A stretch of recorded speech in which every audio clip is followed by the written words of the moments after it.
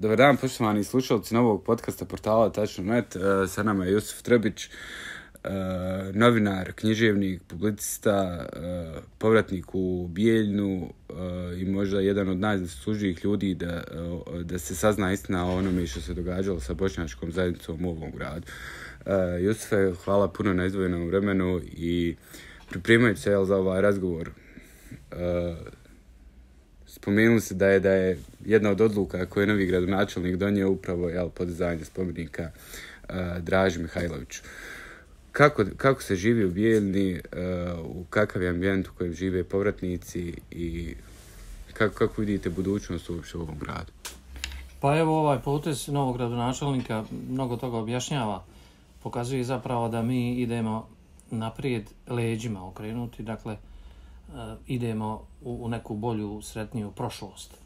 Uh, u vrijeme kad se, evo, mnogo govori o nazivima ulica, o simbolima, uh, koji nisu nimalo beznačajni u ovoj sredini, uh, mi dolazimo do, ili o vraćanju odlikovanja uh, ratnim zločincima, mi dolazimo do, do tada mlad čovjek, uh, novi gradonačelnik, ništa pametnije nije stigao da predloži Skupštini, već da usvoji odluku da se postavi spomenik Draži Mihajloviću. Inače, u Bijeljini postoji trg Draže, generala Draže Mihajlovića. Zanimljivost e, je u tome što je u blizini spomen Česme, e, nema tamo spomenika njegovog, ali ima spomen Česma na kojoj to piše. E, nalazi se možda 5-6 metara, na, na, na udaljenost od 5-6 metara, nalazi se spomenik narodnom heroju Veselinu Vesi Gavrić, kojeg su zaklali četnici tog istog Draže Mihajlovića. Zanimljivo je da u Bijeljni E, pored ulica Četnički vojvoda, Raje Bančića, Pede Stanića, e, profesora Bakajlića, Baje Stanišića, Crnogorskog Četnika, postoji jedna ulica kakve nema nigdje na svijetu, ni u Srbiji, ni u Beogradu. To je ulica Arkanove garde, Srpske dobrovoljačke garde. To je ulica kojom je ta garda došla u Bijeljnu 1. aprila i počela uh, masovne zločine na civilima. Dakle, to je jedan cinizam nevjerovatan, i mislim da je biljna po tome jedinstvena u svijetu. Umjesto da se takvi nazivi ipak uklenjaju, ako ništa drugo, evo recimo Arkanove garde zbog zajedničkog života ovdje, jel? Sad se do, dosipa so na rane, pa se čak predlaže spomenik Draži Mihajloviću, Što je nevjerovatno. Evo, i ni novi gradonačelnik nije još stigao da predloži ništa što se tiče ekonomije, e, boljih života ljudi, nabavke vakcina, ne znam, nija ti stvari koje čine život, ali nas vraća ponovo u vrijeme drugog svjetskog rata. Mi ponovo vodimo bitke od Kosovske bitke pa nadalje. Kod nas to ništa nije završeno. Svako jutro ovdje čovjeka se probudi, ne zna hoće li stići vijest sa Sremskog fronta ili iz neke, e, neki tursko-srpski sukoba i tako dalje. I nikad ne zna ko će zapravo biti tu pobjednika, ko poraženi. Samo je jasno da smo poraženi svi mi i vole normalni, obični ljudi, jer dok se naši političar bave takvim stvarima, nama sigurno nema napretka ni u kom pogledu. Evo samo da se dotaknemo, jel, upravo se nalazimo u prostorijama preporoda, u bijedni. Prostorije su takve kakve su, rekli ste da, da ne, ne postoji natpis zbog stvari, jeste da, da, da, da postoji mogućnost da neko demolira objekat. Da li to neka ustaljena praksa? praksa? To je ustaljena praksa ovdje. E, na prvi pogled, kad prođete kroz Bijeljni, nećete vidjeti neke razlike među ljudima. Ovdje se sjedi po kafićima, voze se auta i tako dalje, ali e, onaj ko hoće da se bavi, evo, kulturu, recimo knjigama, kao što je preporod, njemu nema mjesta ovdje. Osim ako se sam ne izbori pa uspije da izdrži. I mi smo samog početka, mi smo dobili, imali smo vrlo dobru saradnju moram to reći sa ranijim gradonačelnikom Mićom Mićem koji nažalost preminuo od korone. I dobili smo ovu besplatnu kancelariju koja je vrlo mala, ali eto dovoljno za neke naše e, minimalne potrebe. A sve drugo ovdje prosto ne može da stoji. To pripada nekom drugom svijetu. E, jer ovdje se u čitavoj Bosni i Hercegovini ili u ovom dijelu Balkana e, naša klasa upravljačka živi na podjelama, na strahu, na mržnji. I to je najvažnija industrija. To je jedina industrija koja je stalno prebacuje normu. Oni nas stalno tjeraju u, u torove, u plemena. I kad vidim, kad čujem riječ imunitet krda, Ja obično to prevodim kao mentalitet krda. Mi smo stekli jedan mentalitet krda. Ovdje su naši lopovi dobri, njihovi lopovi ne valjaju. Ovdje su naši zločinci dobri, oni tamo ne valjaju i tako dalje. To je prosto jedan sindrom mm, jednog opšteg primitivizma, jedne trivializacije stvarnosti. Mi zapravo i ne živimo u stvarnosti. Mi živimo, evo, u vremenu Draže Mihajlovića, mi živimo uh, u, u, nekim izmišljenim istorijama, u nekoj prošlosti koje nema. I nije nikad bila. E, naravno, svaki nacionalizam proizvodi prošlost za sebe, da bi opravdao sebe, ali kod nas je malo pretiralo u tom smislu, tako da mi danas više ne znamo šta smo u stvari mi doživjeli u istoriji, a pogotovo ne znamo gdje smo danas i kuda hoćemo da idemo. Mi smo jednostavno eh, nekoliko plemena izgubljenih na putevima istorije, nas istorija guši i sve dok traje ova etnokonfesionalna podjela koju moram reći je religija dala veliki doprinos, eh, mi nećemo u budućnosti. E, pa kad govorimo o budućnosti, a moramo se dotaći prošlosti. Evo jedna od, od knjiga koje ste, koje ste vi napisali, izdali, stvarno izdali, ali jeste čuvari, čuvari vremena. E, kada govorimo upravo o, o, o, o prošlosti, e, podatak jeste da se imovina Bošnjaka u, u Bijedni, jel, da se katastar promijenio, e, džamije nema u katastru, E, Eh, da, li, eh, da li je to zatranje eh, bilo kakvih uspomena na, na, na jel, činjenicu da su Bošnjaci nekad živjeli ovdje, danas ih ima veoma malo, na koji način će se to reflektirati na budućnost? S tim ostalo je veoma malo ljudi bošnjačke nacionalnosti koji žive u Bijeni. Pa, mi svi znamo da je cilj ovog rata, ove agresije na Bosnu i spoljašnje i unutrašnje bio zapravo stvaranje etničkih čistih teritorija, a da je etničko čišćenje jedini racionalni način bio da se to ostvari. Uzmite samo recimo popisi stanovništva iz 91. 1991. godine koji pokazuje da je stvorena Velika Srbija na teritorijama koje su bile planirane da uđu u njen sastav, Srba bi bilo 52%. S obzirom na sve, ta takva država ne mogla da postoji. Dakle, jedini način je bio da se eliminišu oni koji ne pripadaju. Isti metod je preuzeo, pre, preuzela Tuđmanova vlast i oni su također sve to isto radili. E, Bošnjaci su ostali stiješnjeni i na kraju su izabrali najgori način da na tuđe nacionalizme odgovore svojim. Tako da je Bosna danas jedno podijeljeno, zavađeno, nemoguće društvo koje ne vidi izlaza iz, iz ove situacije. U Bijeljini je bilo još neki stvari o kojima treba reći. Recimo, eh, u, u istoriji Bijeljna, koja nikad nije bila mali grad u okruženju, nijedan bošnjak koji je živio u Bijeljni nikada nije objavio ni jednu knjigu. Osim dvije knjižice pjesama Mustafa Grabčanovića. Jednu 938. godine i jednu 35 godina kasnije. I niko drugi. Nisu se pretrgli ni ostali. Zanimljiva je pri tome sudbina jevreja koji nisu ostavili ni jedno slovo o sebi zapisano i nestali su potpuno u mraku historije, e, a Bijeljna je bila drugi ili treći grad po broju jevreja i jevrejske djece u Bosni i Hercegovini. Njih nema. Mi smo danas, evo ja sam skupljao neke ostatke prošlosti njihove, ali sve je to malo.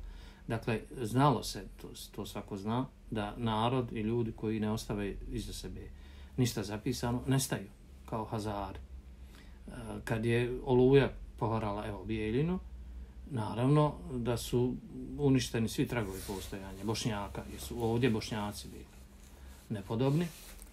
I između ostalog porušene su i džamije, a mjesta na kojima su bile džamije izbrisano su potpuno a, iz katastra i nije, nije ih bilo nigdje u katastarskim planovima.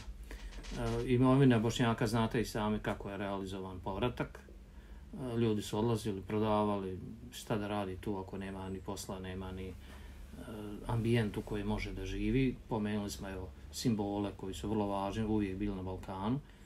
I e, meni se činilo da je najvažniji zadatak svakoga ko razmišlja o svemu tome da pokuša učiniti nešto da se spasi bar dio tog posjećanja.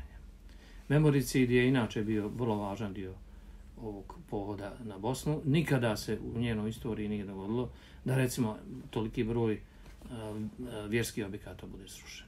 To se nikad nije radilo, u ostalom evo i u ovom ratu, ostale su stare crkve i u Tuzli, i u Zenici, i u Sarajevu, čak u Sarajevu je e, stara crkva na Baščaši bila prvi objekat koji je obnovljen nakon rata parama vlade koji su ovdje nazivali muslimanskom. U Bihaću također niko nije dirnuo e, crkvu čak i u Srebrenici. To je zabilježila kamera Beogradske televizije kad su mlađe trupe ušle u Srebrenicu, na tu crku se niko ni kamenom nije bacio. I to jednostavno nije bio običaj. Ovdje to se nije radilo. E, to govori o zbiljnosti ovog pohoda na Bosnu, ovog rata protiv Bosne. I Bijeljna se odjednom 95. godine našla u situaciji da e, Bošnjaci zapravo prema svim tragovima nisu tu nikad postojali. Ja sam u to vrijeme bio u Njemačkoj i vratio sam se, vratio sam Njemačkoj neograničenu vizu na iznenađenje i onih koji tamo rade, Njemaca, jer to, rekli su mi, nikad niko nije uradio. Ja sam vratio, nisam tio da pravim kompromise i vratio sam se u Bijeljnu.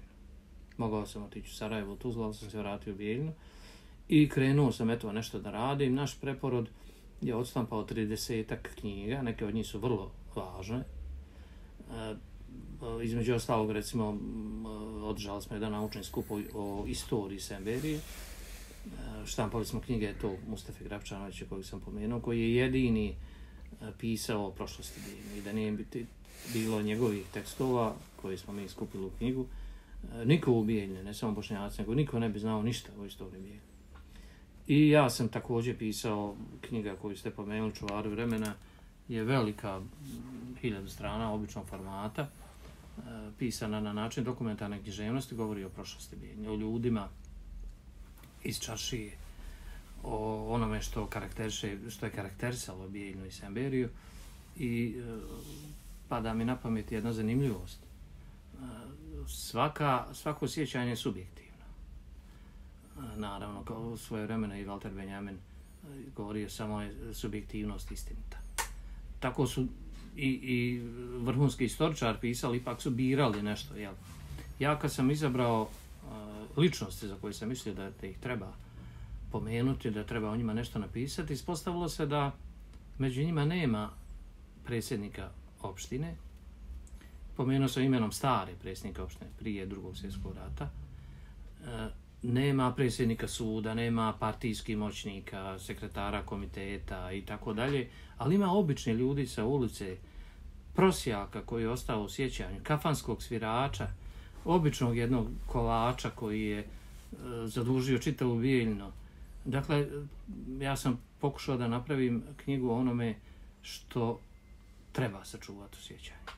E, objavio sam četiri knjige o zločinima u E, najvažnije su dvije, prvi i drugi dio knjige koja, e, koja se zove Majstori mraka.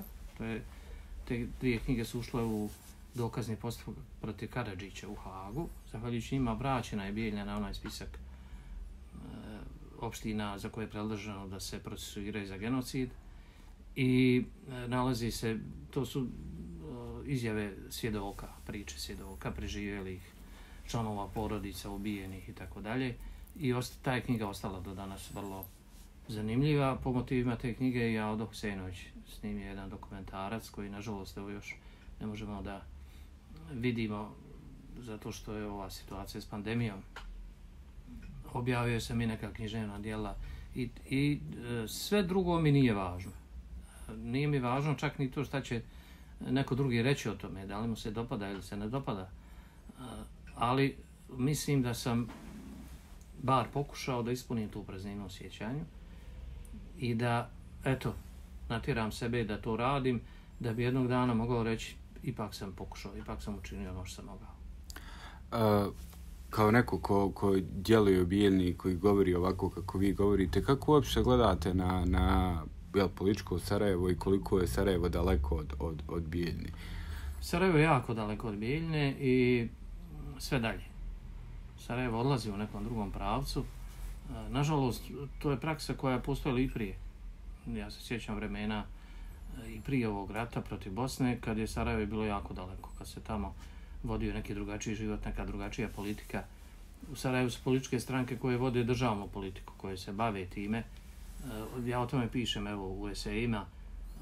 Jednu sam knjigu eseja objavio pred prošle godine, ova ova druga treba da izađe ove godine. Uh, politika etničke podjele koju je zapravo započela SDA onim čuvenim osnivačkim kongresom na kojem je Alija Izetbegović e, tražio da se sruši Ustav Republike Bosne i Hercegovine e, i da narodi biraju svoje istinske predstavnike, što je bilo za to vrijeme nečuveno, jer e, tadašnji Ustav Republike Bosne i Hercegovine nije poznavao narode, samo građane.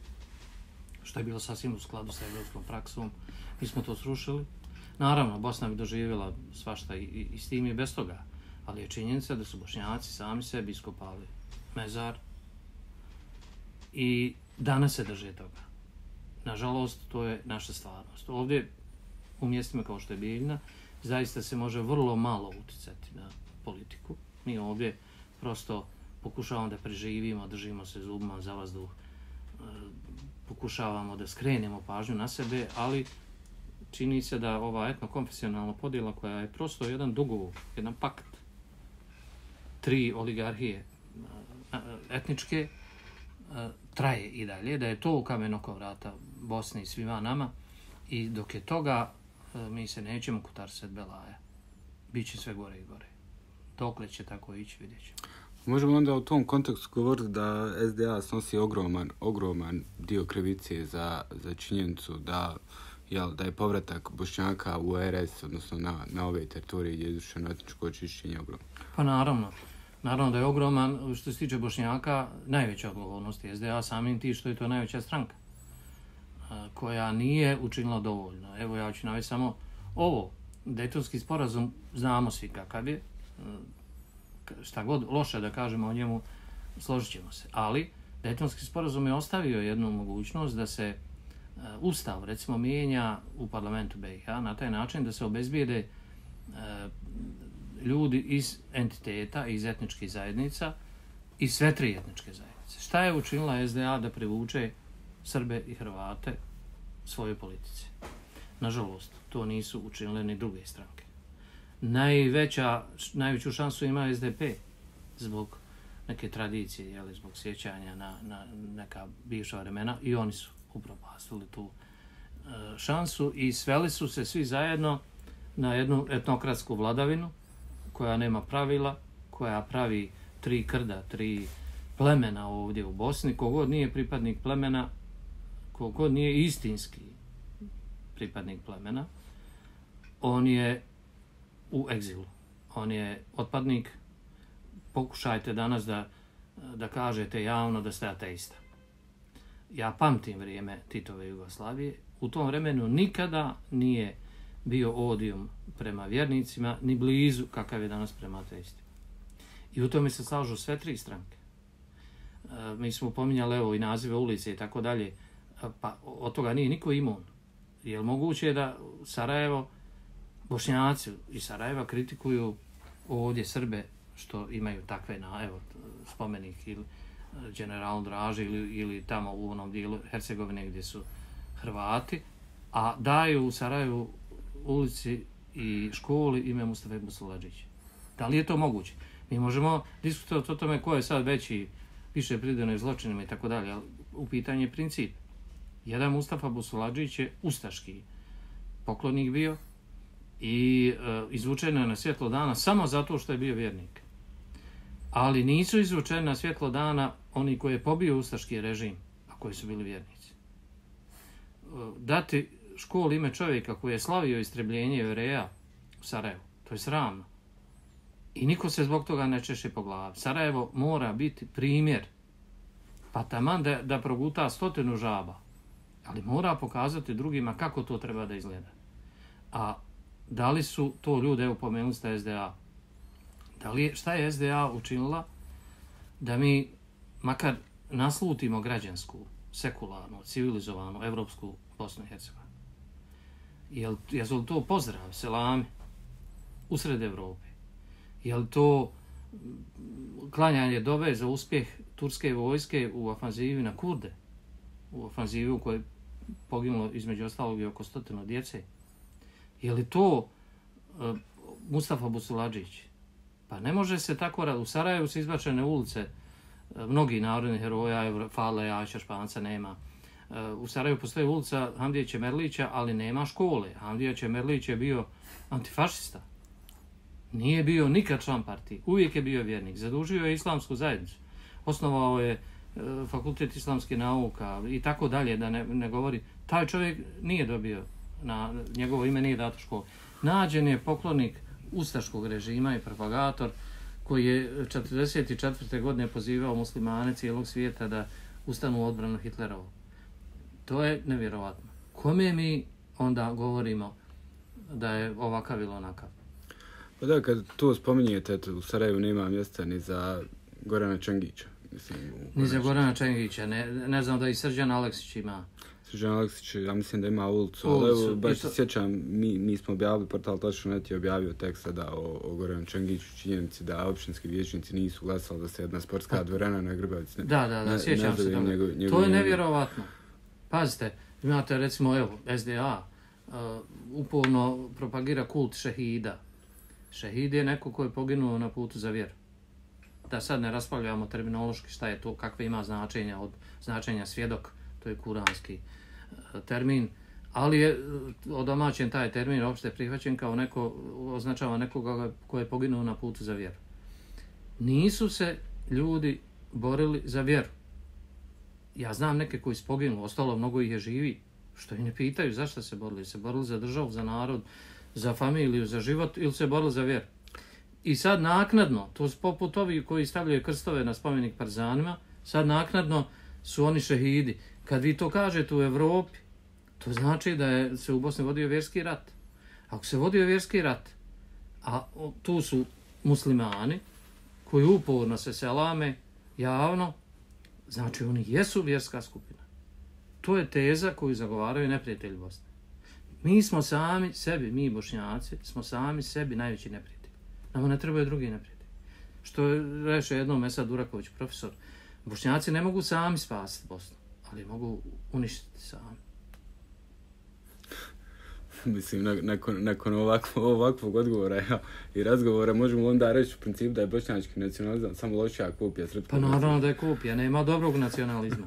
Svaki nacionalizam ima kao konačno isodište svoju sobstvenu teritoriju, državu i tako dalje. Svaki nacionalizam počiva na nekoliko premisa, na izmišljanju prošlosti, na mržnji prema drugim, na odvajanju od drugih. Pa šta mislite zbog čega je Jugoslavija toliko omražena? Pa... Omražena je zato što je počivala na sličnostima, a ne na razlikama. Ovdje kod nas, za sve o kojima smo govorili, bitne su samo razlike. I vidite, nacionalizam dovede do otle da bošnjak može biti samo neko ko je musliman. Sjećate se sintagme bošnjaci, crtice muslimani. Šta to znači? To znači da jedan Vojislav ne može biti bošnjak, ma koliko on to htio, i čak i u ovoj praksi kad se kod nas bira etnička pripadnost. Pa je neko bošnjak u jednom izbornom ciklusu, u drugom nije. Isto tako ne može Jusuf biti bošnjak jer nije vjernik. Dakle, mi smo sve satirali u torove, e, natirali smo ljude da se plaše i oni koji nisu takvi ne smiju to da kažu javno, jer će doživjeti e, progon od svojih e, sunarodnika. Jel? Mi smo jako daleko, ne samo od Sarajeva, nego smo daleko od svijeta. Mi smo daleko od slobodne kritičke misli koja je u temelju savremenog svijeta mi smo daleko na putevima istorije koje su davno ljudi zaboravili. Pa mislim, kad, kad tako poslužite stvari koji jesu suštinski takve ka, ka, kako ste rekli, mislim, živimo u tri etnonacionalizma, živimo u podjelama, kako uopće vidite budućnost Bosne i Hercegovine? Pa budućnost Bosne i Hercegovine ne mora biti tako sumorna zbog nekih stvari koje ne zavise od nas. Ono što zavisi od nas teško da može našom voljom da bude bolje. Ali, Bosna je srećom u Evropi. Da bi ušlo u Evropu, a ne može beskonačno biti crna tačka, ako uđe i Srbija, uđe, ne, ne, nešto se mora uraditi s Bosnom. Prosto što vas prekidam, ali zar slično mišljenje nije bilo 90. godina, kad niko nije mogao pomisliti da će jedan rat kao što smo mi imali biti jel, u srcu Evrope? Pa nije se tad moglo pomisliti, nije Evropa ni htjela rat. Evropa je predlagala da konkretni pre Jacques Delors je došao da predloži Miloševiću i Tuđmanu da čitava Jugoslavija uđe u Evropsku uniju, da dobije 5 milijardi dolara, da malo to podmaže, jel, kako treba, pa da se onda, ako hoće da se dijeli, nek se dijeli. Međutim, ni jednom ni drugom to nije odgovaralo, jer su oni sanjali neke svoje imperialne snove, a glavni razlog je bio što nisu tako mogli dijeliti onda Bosna i Hercegovina. Podjela je i dalje na stolu, i dalje se vodi rat, samo drugim sredstvima, pravo je čudo što nije zapucalo, a nije zapucalo samo zato, ne zbog e, nekog našeg uvažavanja Evrope, evropske vrijednosti, već samo zato što mi ne smijemo to da uradimo. Jer sad u ono vrijeme se znalo, ko bude pucao, neće odgovarati. Tako je bilo mišljenje i zaista se pokazalo da je većina takvi e, je mimo išla ih je kazna. A sad samo zbog tog kukavičluka naše, zbog kojeg mi ne smijemo da izađemo na ulicu čak i kad umiremo jer nema vakcina, ne smijemo da izađemo zbog ove situacije, zbog ovog siromaštva, zbog ove e, gluposti koja je pretvorena u vladajuću politiku. Nama vlada glupost. Nezog Čurak jednom, u jednom intervju rekao najvažniji politički resurs u ovoj državi je glupost. Jer očigledno je da manjka pameti. Da ima pameti, ne bi se vjerovatno dežavalo da jedan Mijamar ustane e, protiv vojske koja puca na njih, a u Bosni neće da ustanu kad umiru od, od, od korone mi smo prosto e, zarobljenici svoje sobstvene podaničke svijesti. Mi smo dobrovoljni robovi naših gospodara koji vladaju. E, oni su, evo, na tri strane se razdijeli, njima je dobro, kao što vidimo. Ali, eto, Bosna je u Evropi. Iako Evropa jednog dana i NATO uvuku Bosnu u svoj sastav, a moraće jednom, ne može biti vječito ovakva, moraju je natjerati da počne da liči na evropske države ako počne da liči na evropske države, mi ćemo se ponašati kao naši ljudi kad odu na rad u Njemačku da žive tamo. Čim pređe granicu, on postane disciplinovaniji, pametniji i odgovorniji od većine Njemaca. Jer je nad njim sankcija i on to poštuje. Ovdje podanička svijest poštuje silu i dok su naši političari sila, a vidimo, evo, dogovaraju se po kafanama, nikog ništa ne pitaju, mi se ne bunimo, radi što hoće, uzimaju, jedu bili, ljebi, ili tako. I sve drugo, mi se ne bunimo, mi smo robovi, mi smo pristali na to, mi čuvamo svoje robstvo. Kad se pobune u Sarajevu, ovi u Banja Lucu protiv. Kad se pobune u Banja Lucu, zbog te iste stvari, ovi u Sarajevu protiv. Jednostavno, izgubljeni smo. Obzirom na vašu profesiju, i činjenica je da ste bili direktor, direktor radija Biljne i novinar, koliko odgovornost mediji snose za, za ovaj ambijent u kojem mi živimo? Ogromnu odgovornost, mada mislim da se sa ulogom medija ovdje pomalo pretjeruje iz prostog razloga što smo mi nepisani svijet. Znate, ne treba pretjerivati. Lako je medijima da utiču na javnost u jednom Americi kad su 90% pismeni ili, ili u jednoj Njemačkoj. Znate li da je u Njemačkoj još davno prije drugog svjetskog rata iz popisa izbrisana e, stavka jeste li pismeni? Jer nije bilo nepismeni. Mi danas imamo skoro bukvalno, pogledajte e, statistike pa ćete vidjeti. Sa ovom našom nevjerovatnom praksom kupovanja diploma i profesionalizacije politike gluposti, e, mi smo osuđeni prosto da sjedimo i da gledamo u nebo i čekamo hoće li međunarodna zajednica i Joe Biden nešto urati, ako uradi dobro, jest ako ne uradi, mi ćemo ostati gdje smo. Hvala puno na ovom razgovoru.